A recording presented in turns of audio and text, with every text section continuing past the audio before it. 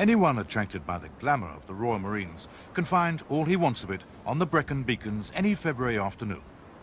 These young officers, in the fifth of their 12 months of training, can't speak too highly of the glamour. There's, there's no such thing as um, waterproof clothing, garments. They just don't exist. Everything gets wet. It's like socks and gloves you can stow under your armpits or, uh, or in your groin uh, to keep to keep dry. It's not very pleasant, but uh, they do heat up within a couple of hours. You've got a dry pair of socks, which is uh, severely good news in these two conditions. But that, are you carrying little packages under your arm? Get out the, the goods here if I can. Yeah, that's a. They've been in about half an hour, and you know they're still damp, but they're drying off. I can feel they're drying off already, and uh, well, I, won't, I won't bother to go into what's down there. But I've got some more stuff. I've got a pair of gloves down there. It tends to get me down a bit. Uh, if I do think about uh, home, warm things, things like that, I just, quite frankly, I just switch off. But switching off is not a popular concept in the Marines. Switching off is what civilians do. Now, what worries me at this stage is that your personal, first of all, your personal standards of patrolling and skills have fallen off the plot, as far as I'm concerned. You must get a grip of your personal skills, your patrolling skills, your individual skills. Because if you don't, when you're a troop commander, the standards you reflect will very rapidly be reflected for better or worse than the blokes you command. Let me put it Civilianship, in short, is a nasty habit that has to be renounced. Yes, they have, as you say, vestigial traces of, uh, of the civilian still in them, uh, which I think is perhaps a bit disappointing at, at this stage. Uh, I think they really will affect their transformation uh, over the course of the next 10 to 14 weeks, which leads them up to their commando course and their Green Beret. They'll, they'll criticise me for this, but to me at the moment, it is, it is a job. It's not a way of life. I haven't become a military person. I think I've said before that at the weekends I'm a civilian. I, I will be a civilian. I'm my own person. And they're not going to create a military stereotype out of me, um, and I'm not going to, going to become just a soldier. I'm, going to be me first, uh, and then we'll see what happens. For his three days on a bleak mountainside, Peter Cameron, a Cambridge graduate, has brought an appropriate book. Well, a book called Hard Times by Charles Dickens. The training is remorseless. When it's not marching or the mountains, it's the lecture room. Glasnost is not high on the curriculum. Here, they meet the enemy. Well, good afternoon, gentlemen. Essentially, the object of our intellectual attentions this afternoon is this chap, the Soviet soldier, and the way in which he thinks.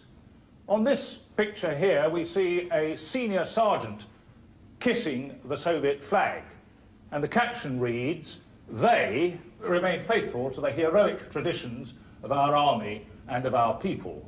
It's Afghan army which protects Afghanistan, not Soviet. We do, uh, we conduct um, protection means, protect socialism. And socialism is, uh, you know, an inevitable course. It is progressive social structure. And by words of Lenin, by Lenin's uh, words of Brezhnev, by words of uh, Marxism, uh, socialism is an international inevitability. It is like exciting experience. When it rains on Saturday, you should just lie back and enjoy it.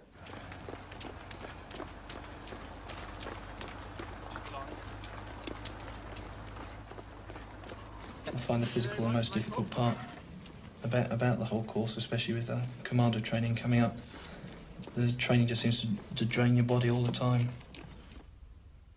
It's 11 p.m. After another exhausting day, Jim Trotman craves nothing more than sleep. But there's still homework to be done. What eventually will he dream about?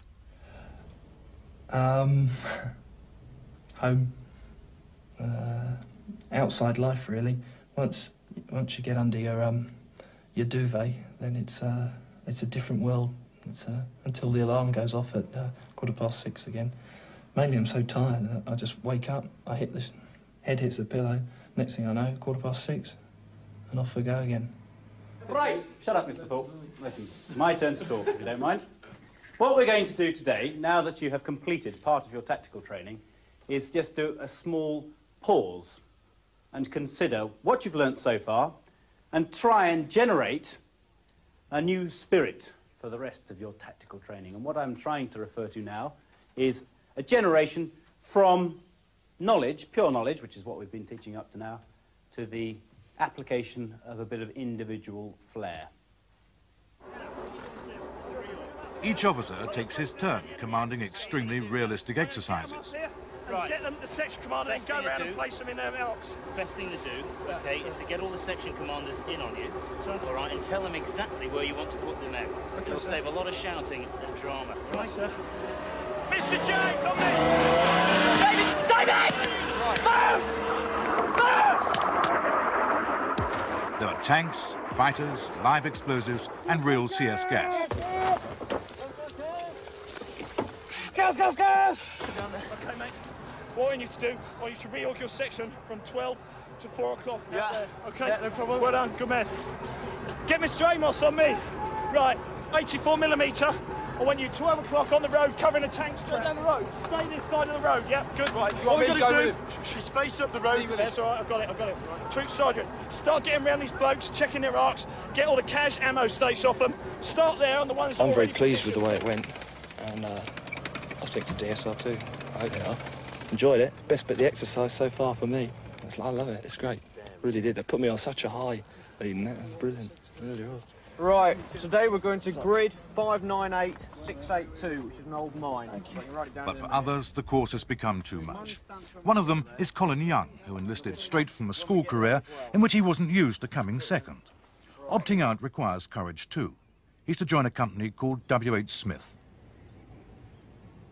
Came to the end of December and the Marines said to me that I wasn't good enough and I need to improve a lot to get up to the grade that they required. So during January, I gave 100%. Got to the end of January, I finished an exercise and they said, well, we still don't really think you're there. So sort of sat down and thought about it, rang up a lot of friends, spoke to my parents, and decided eventually that if I was going to be in a career, I wanted to do well at my career, because I'd done well at school in what I did and what I enjoyed. So change of direction was needed. So I went to see Captain well, Lieutenant Darwell Stone at the time, and I went, took a week's leave, think about it, and the end of the week I decided to leave the Marines, resign. But I think if I'd had a year off and gone, done, sort of gone around the world, looked after myself for a year, and lived away from home, I'd have been much better. I'd probably stood a much better chance and had no problems with the course.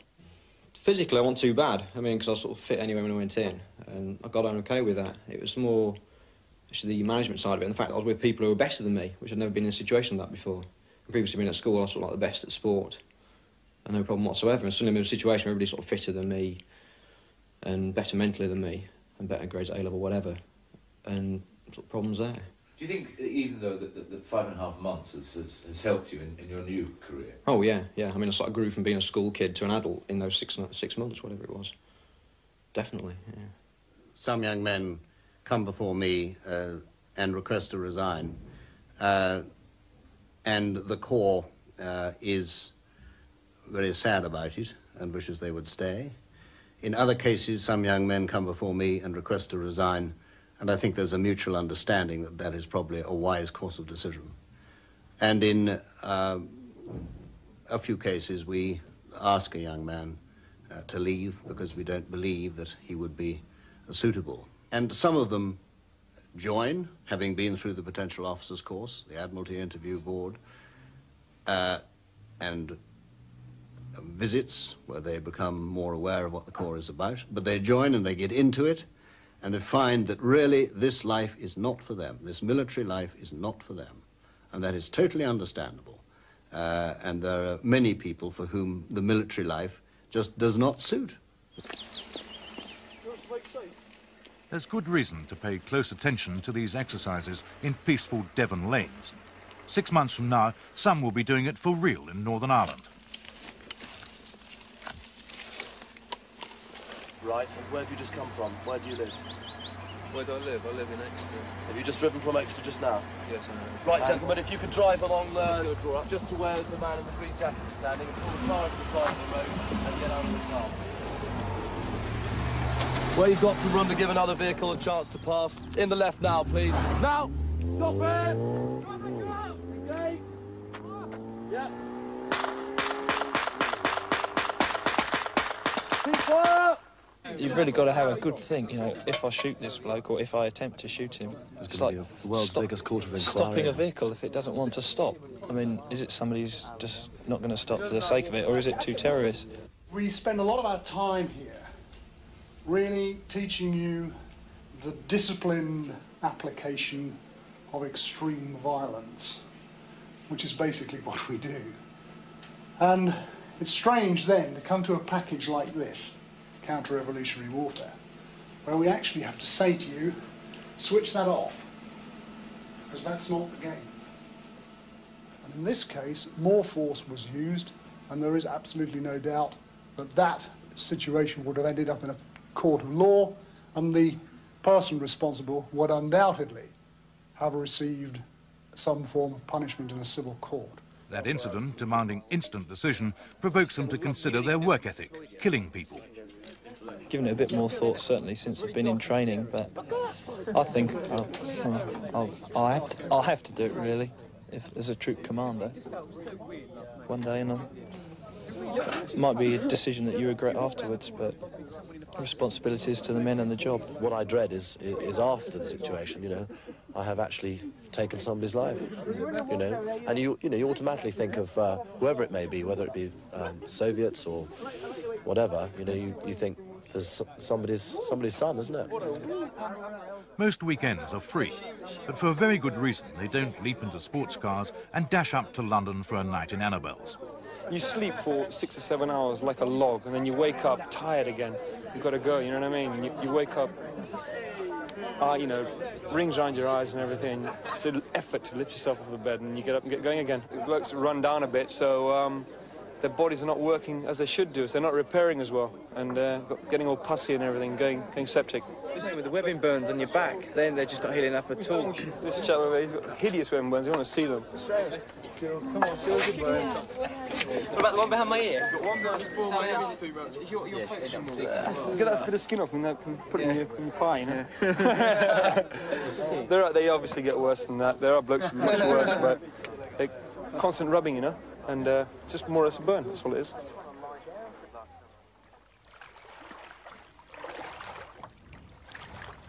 I've always found fishing quite, uh, quite relaxing. Certainly at the end of the week, you're ready for a break. It's, uh, it's, it's good to get away from the, the regular crowd, to do something different. It seems a bit ironic, really, that we slog our guts out most of the time on Dartmoor, wade through bogs and uh, ford streams and things, and then it's exactly what I come and do at the weekends as well, so... But, uh, I still quite like Dartmoor. I think in many ways I'm pretty much unemployable as your average office-type worker, and I think many of the people in the batch are. And I find many of the, the lectures now very mundane and rather some of them... Better watch what I'm saying here.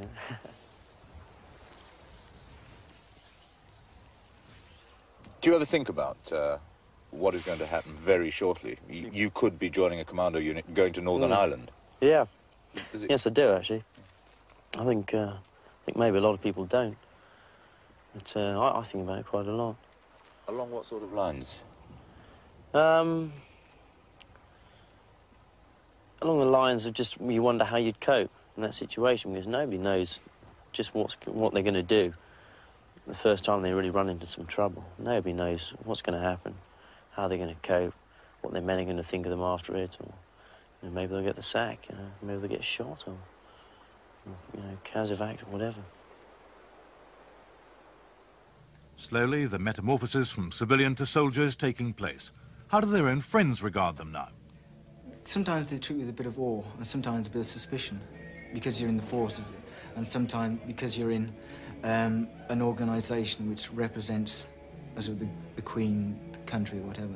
They sometimes think, hmm, you know, is he still okay, as it were? Joining for Queen and Country was not a prominent reason for me. I wanted to join um, because I enjoyed the outdoor life and I wanted to have the responsibility. It does come into it, Queen and Country, but it wasn't my prominent reason. So I, I never really get derided uh, or, or laughed at for it. Uh, in fact, a couple of my friends sort of wished they'd done the same thing in a way, I think. I don't think they treat me differently. I probably treat them a little bit more differently. They well, they, they take me the same way, but I I look at them and it, it's probably very pompous, but you, you automatically, you think, oh well, you know, they've not done what I've done. For many, this is the turning point. Out there, the civilians, the civvies. But you are now Royal Marine. My girlfriend uh, said I- once went to see her and I was talking about the civvies and she, she hit me and said, well, I'm one. Um, but we do. We walk around and if you see someone with pink hair and whatever, you know, bloody civvy. It's a strange sort of um, standard they put on you because you're so much, you feel so much cleaner because you know you, you dobie two or three times a day at times, and you, you know you wash your shirts each night, etc. You just feel cleaner in a way than everyone else around you. I feel I've changed. I've grown up a lot, having coming straight from school, mixing with these guys who, some of them six years older than me. I've had to grow up fast, and I think I've got a little bit more confidence as well. Um, and I've had, I've had to use that confidence to bridge all the problems that I've had, all, all, all the, the little walls there are to climb before you get there in the end. The crucial commando tests are about to start. Peter Ainsworth, who won no marks for arriving on the course in an RAF bomber jacket, has a severe ankle sprain. I'm sure with enough strappings and enough um, painkillers, I'll get through. But I'll get through somehow. Stand by. Go.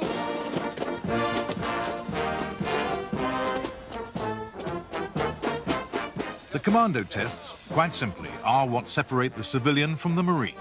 Five weeks of an endurance course, a Tarzan assault course, speed marching, and a 30-mile yomp, all carrying 35 pounds against the clock.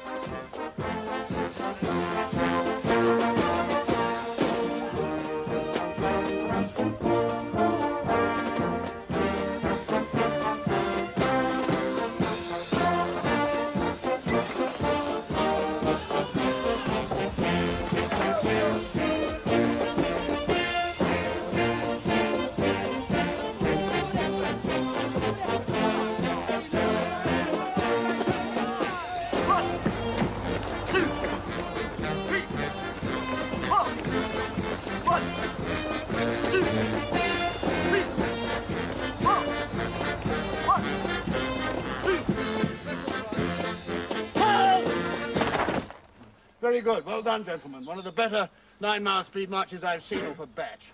Well done indeed. Ainsworth vibrates with pain after the speed march. Another man, having come this far, decides it's no longer worth it. He quits and walks from the Royal Marines forever.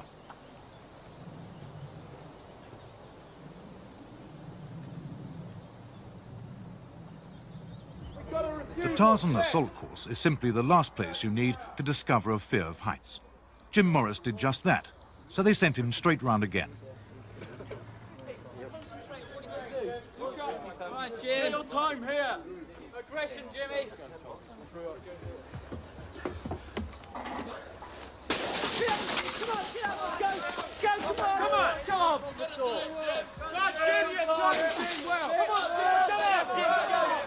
Remember for super bottom and all the rest of it. Get out there.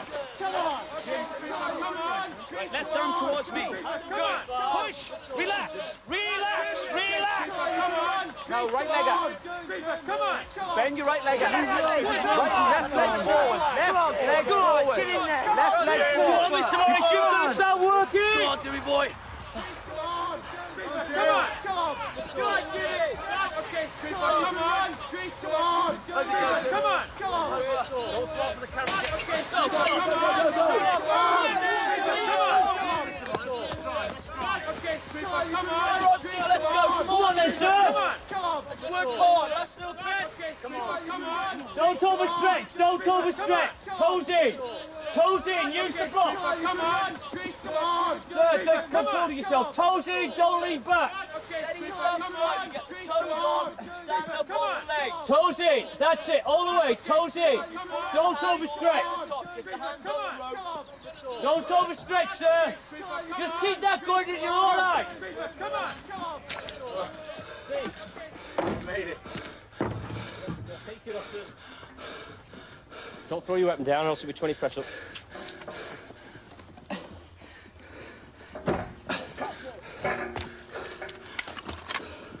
Got that water bottle. Uh... The test. Into the nose, out through the mouth.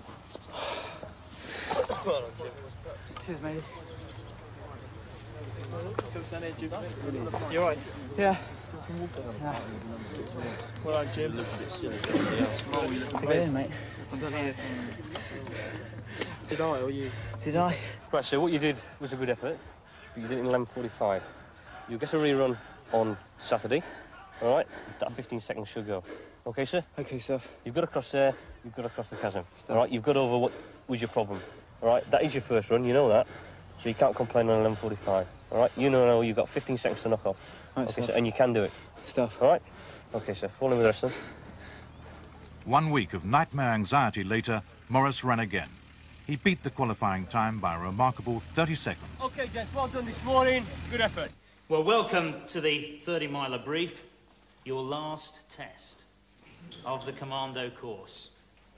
30 miles across the moor from Okehampton down to a place called Cross Furzes, which is near Buckfastleigh.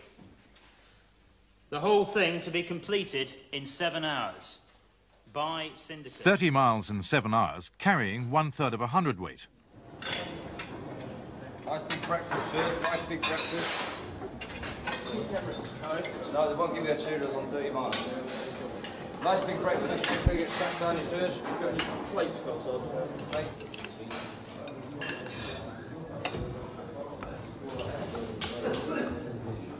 Everybody's a little bit nervous. Uh, I don't think anybody slept particularly well last night. It was really hot in the accommodation.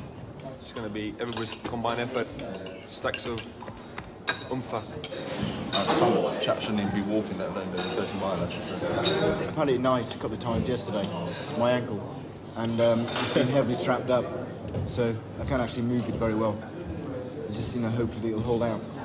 Yeah, I don't reckon I've ever walked 30 miles, let alone run 30 miles in my life. Nervous. I don't think anyone isn't. What are, what, are, what are you prepared to do in order to, to get through this success? Pull my hands and knees. You're the only man here who looks like he's done 30 miles before he starts, Mr. Ray. Well, I'm always this ugly. I didn't get any sleep last night. Just could not sleep. But I don't feel too bad overall. Apart from the, the old ankle, but that's by the by. You're looking forward to it, though, Mr. Coulson. I've waited for this moment for a very long time. Well, Mr. Coulson, since you're looking forward to it so much, you've got 10 seconds to go. Excellent. On your marks. Mr. Fothergill, get with them. 혼자 옆까지 더 위험 있어도 괜찮아요.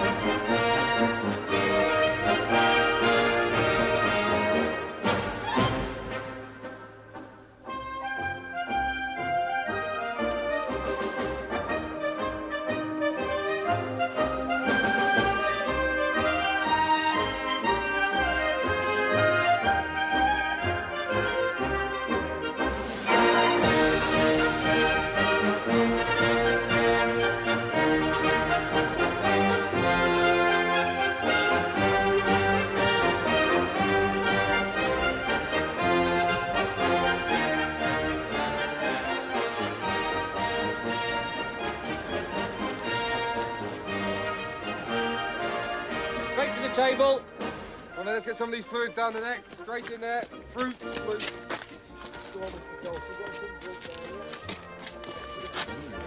I say get it down, sip it, sirs, don't gulp it. I'm rapidly running out of painkillers. You're running out of painkillers? I've got about two left. Let's go.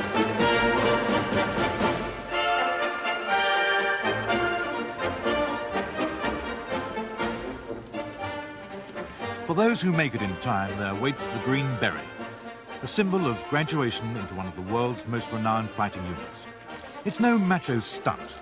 In the Falklands War, this man, Brigadier Andrew Whitehead, marched 4-5 Commando the entire length of West Falkland, each man carrying 120 pounds. When they got there, they had a battle to fight. Ainsworth hobbles on in the wake of that tradition.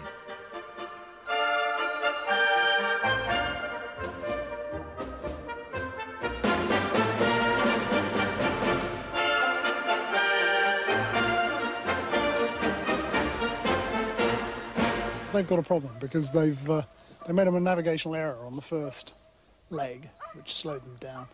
They're also carrying a guy who we knew is injured, so they are pretty pressed. I mean, they've been running for four hours 21, um, and they really need to complete the next leg in about the next 35 minutes if they'd have a fighting chance of getting in. What happens if they don't? Quite simple. They go around again. We have to do a rerun.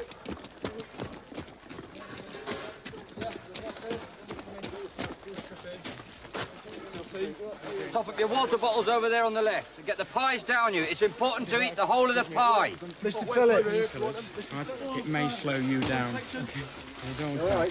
Mr. Morris. Don't give it, give it a quick. Uh, Sit down, sir. Get yourself pasty. Hot wet over here, tea, sirs, on the left.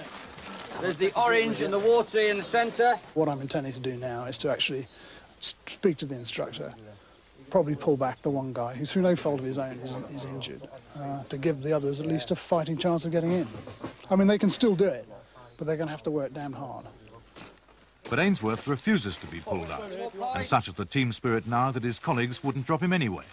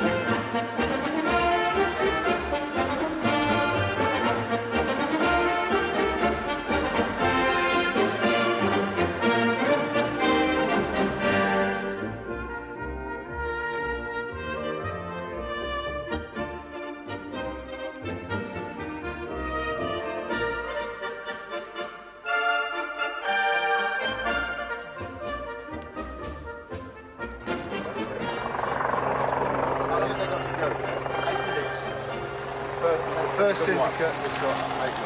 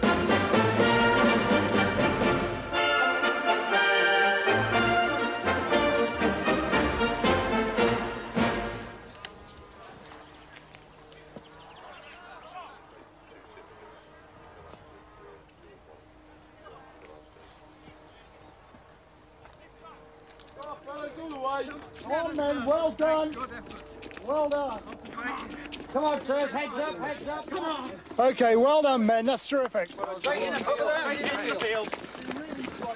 Well done, guys. Well done. Head to the field. Well done, guys.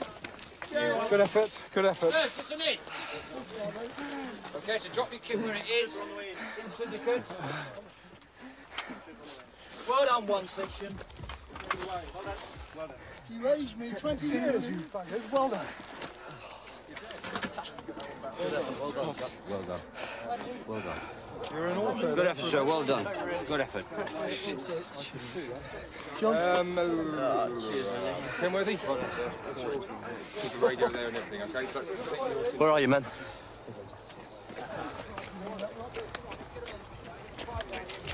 Well done, men.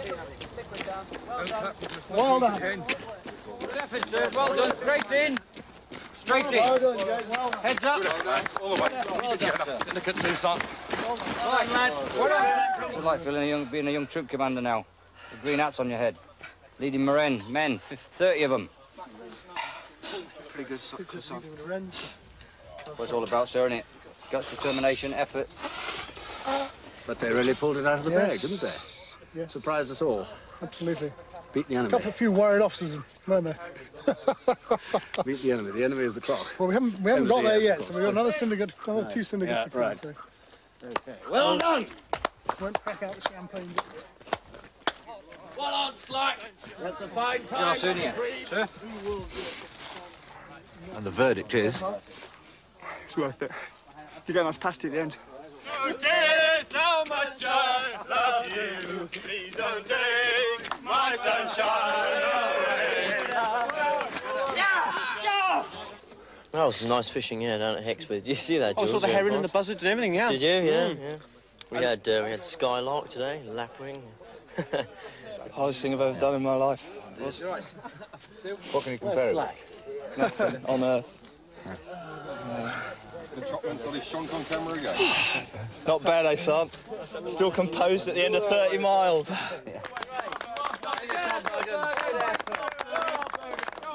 Andrew Coulson, the man who said he'd crawl it on hands and knees if necessary, has missed the deadline by just 10 minutes. Don't worry, Matty. Don't worry. Don't worry. Okay, sir, just take him straight in the gate, give him some water, give him a get a hot wet down him. Okay? Yeah?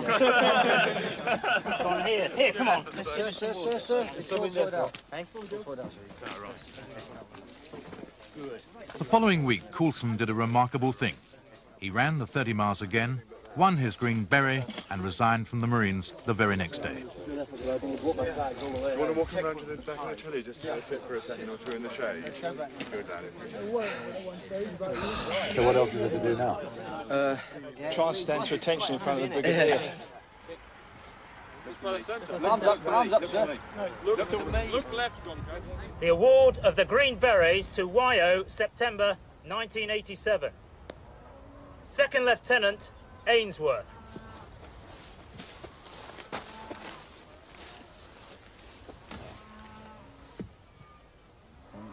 Good effort. You're in first weren't you? Hold on. Good effort.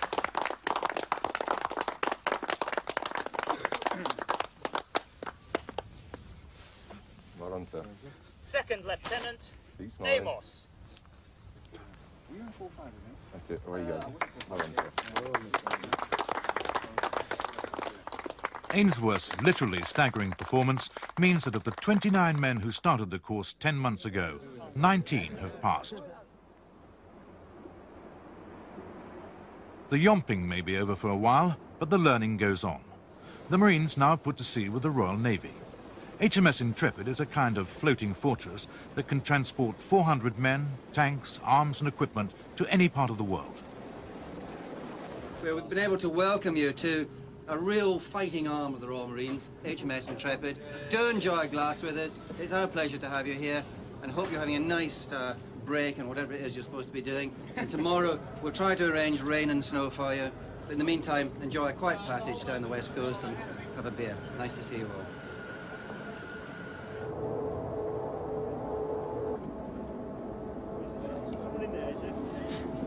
You will get well. Intrepid is no mere training ship. First proved its value in a new form of strategic warfare in the Falklands campaign.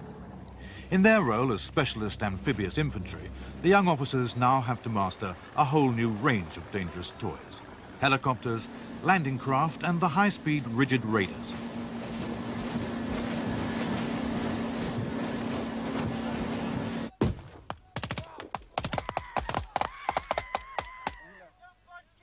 What they're attacking for the moment are some deserted islands in the Hebrides.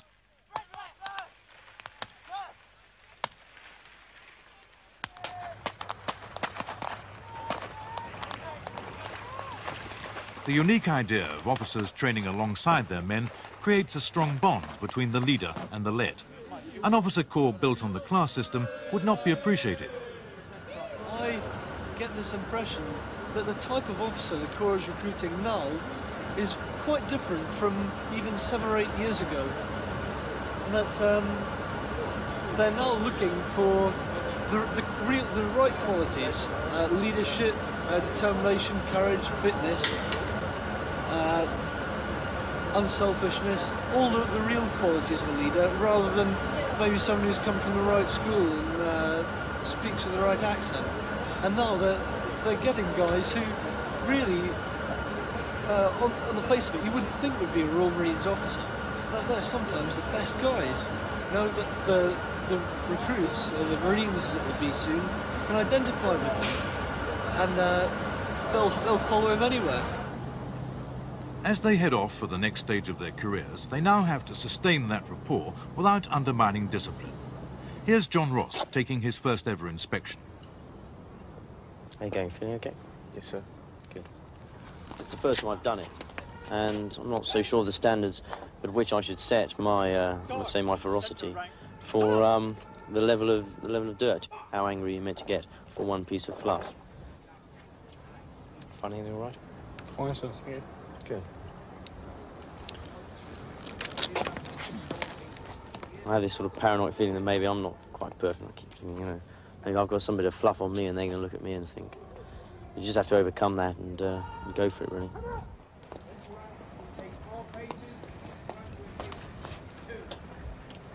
You look at a guy, and if he's up to the required standard, then you let him know that, you know. And if he's above it, you know, say, well done, good turnout. And the next guy, who may well be below, uh, and you, you give him the same sort of treatment, uh, and bollock him. So delegate down. You can't learn authority from a book. size, It comes from experience. experience, And the Royal Marines have a theatrical way of teaching it.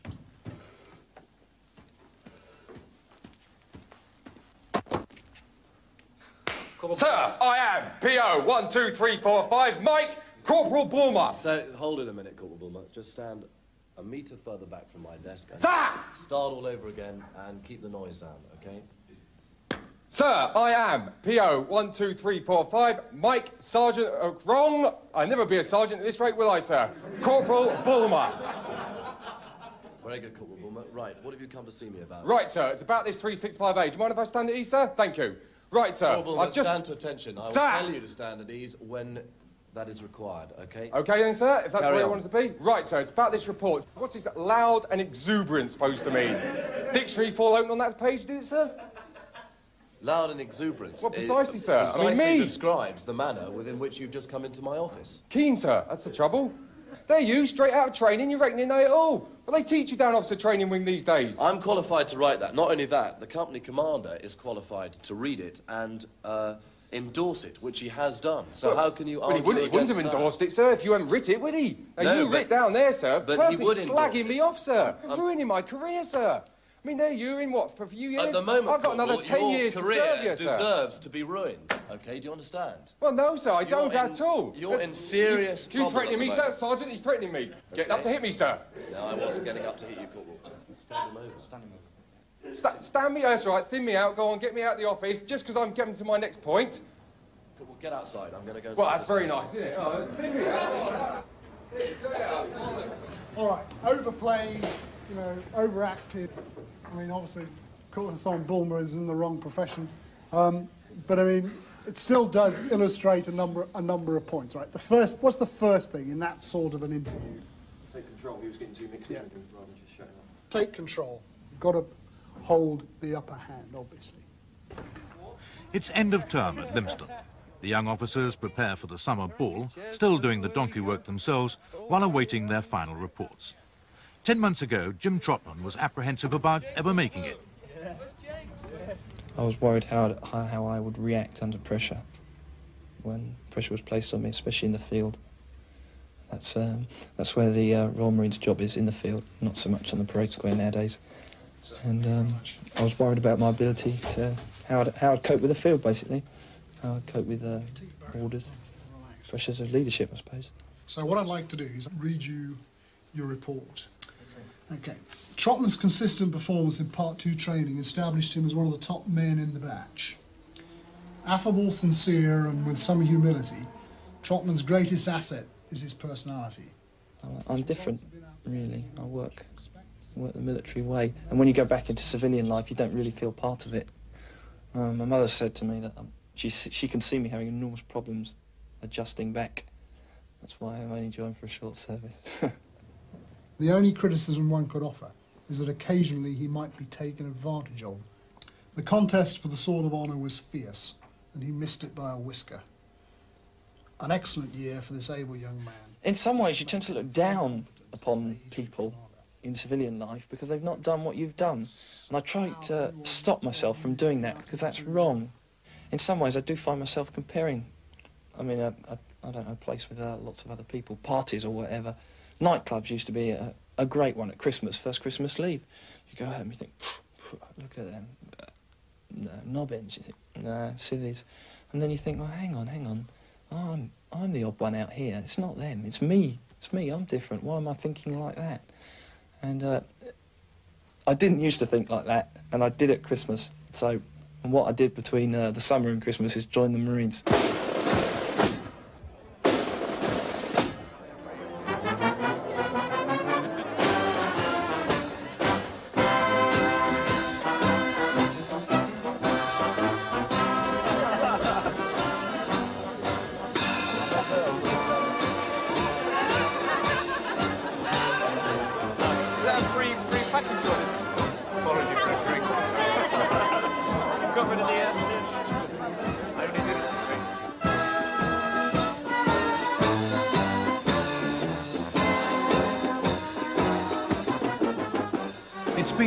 Unusual education, compounded of fear, indignity, fatigue and unrelenting pressure. And it's produced 19 examples of precisely what the Royal Marines intended to produce. Officers with brains, courage, resilience and endurance. Battles are not fought to Union hours.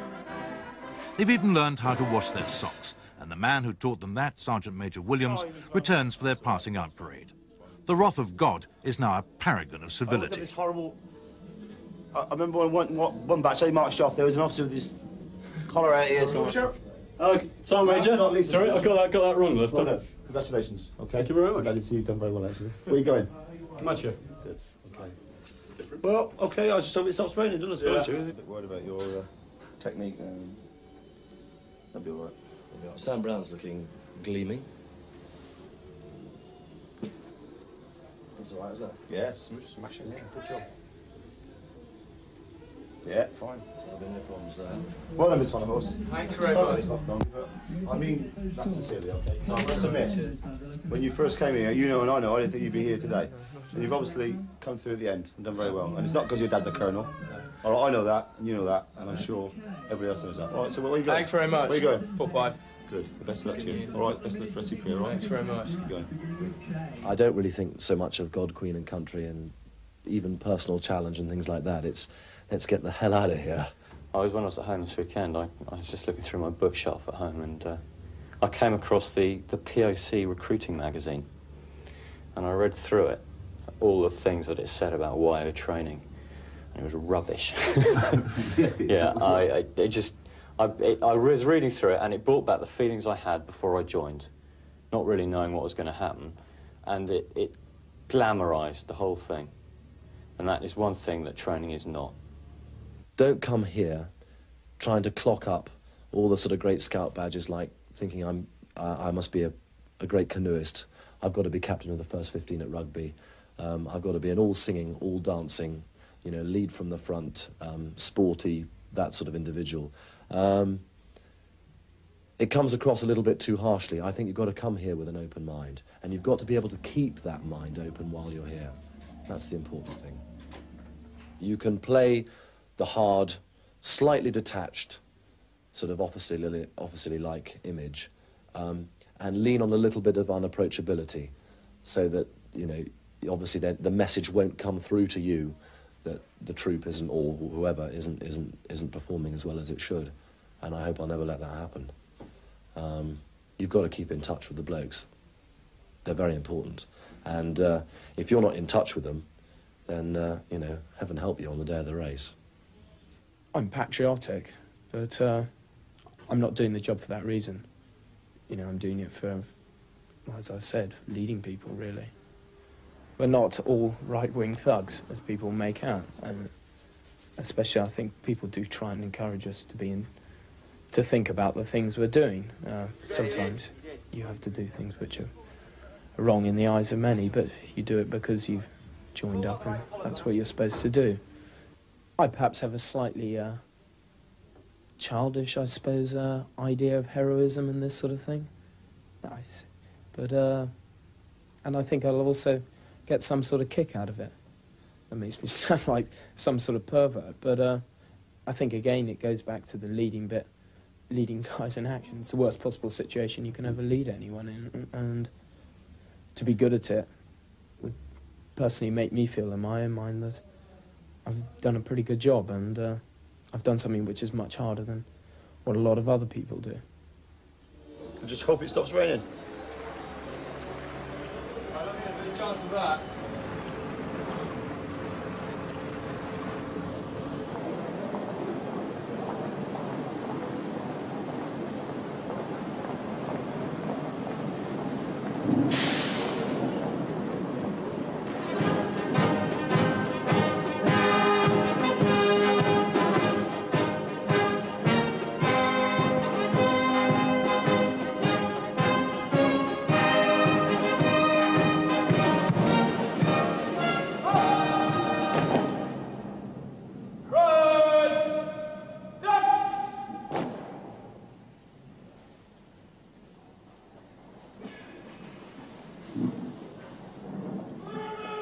The Sword of Honour is presented by Lieutenant General Sir Martin Garrett, Commandant General of the Royal Marines.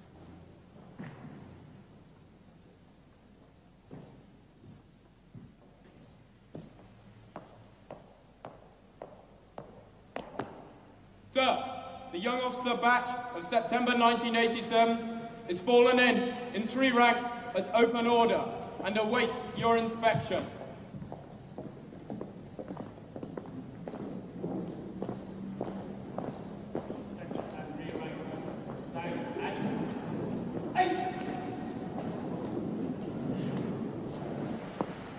The Royal Marines Sword of Honour, awarded by the Admiralty Board and presented by Wilkinson Sword to the most outstanding young officer of his batch, Acting Lieutenant Van der Horst.